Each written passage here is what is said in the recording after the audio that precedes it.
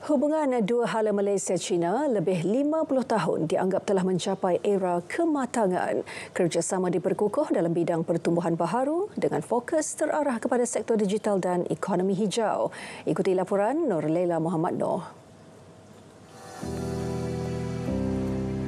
Tiga dokumen kerjasama ditandatangani 19 Jun lalu oleh Menteri MITI Tengku Datuk Seri Zafrul Tengku Abdul Aziz bersama Menteri Perdagangan China Wan Wentao.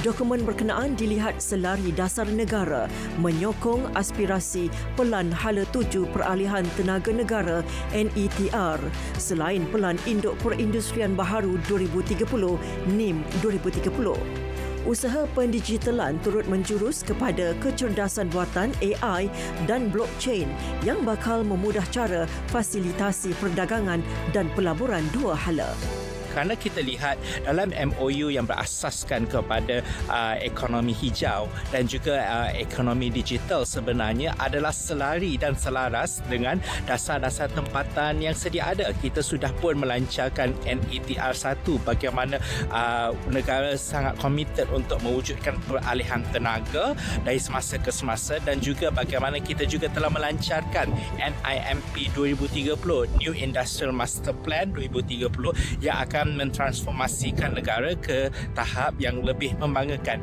Kerjasama baharu itu juga perlu diterjemah kepada pemerkasaan aspek modal insan. Anak tempatan bakal menerima manfaat menerusi perkongsian kepakaran dan teknologi apa pula yang harus kita sambut dari segi persiapan dan kesiapsiagaan negara adalah bagaimana negara uh, harus menyediakan tenaga uh, kerja dan kepakaran yang sesuai dengan teknologi ini. Uh, bagaimana kita boleh menyediakan tenaga buruh profesional yang akan menyambut segala pertukaran teknologi yang akan menterjemahkan segala perpindahan ini kepada bentuk kejayaan.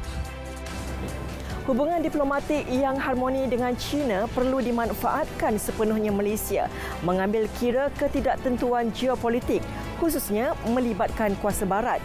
Sokongan penuh China terhadap Malaysia menjadi pengerusi ASEAN tahun depan juga meletakkan negara pada kedudukan strategik merangka kerjasama baharu di peringkat serantau. Nurlela Muhammad Nur, RTM.